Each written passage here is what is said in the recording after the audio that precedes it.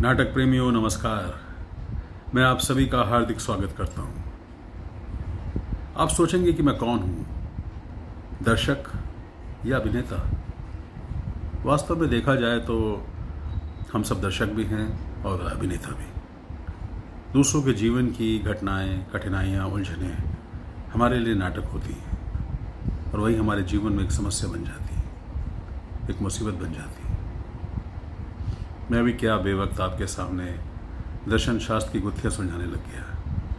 आप लोग देखने आए हैं नाटक, एक राग, दो स्वर। ये नाटक एक आधुनिक पति पत्नी की कहानी है, जो हर समय अपने अधिकारों की नापतोल में लगे रहते हैं। तो देखा आपने, जब घर के बाहर इनका ये हाल है तो घर के अंदर क्या होता होगा? तो ऐसा करते हैं साहब, इनके घर चलते हैं। और चुपके से झाँक कर इनके बेडरूम में देखते हैं कि वहाँ क्या चल रहा है।